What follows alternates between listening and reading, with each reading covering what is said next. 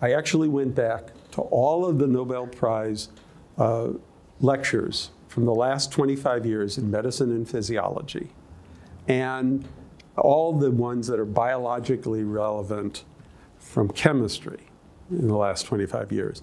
And I asked, where was the first paper that was written that on, on a particular subject? And it turns out that indeed half of them were published in Cell, Nature, or Science.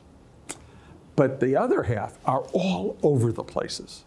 Journals that you, or at least I, never even think to go reading about things. But they were incredibly important discoveries. So it's not, it's not, if you take the criteria of what actually gets someone a Nobel Prize, it's not where they published it, what was the, what was the content of the paper.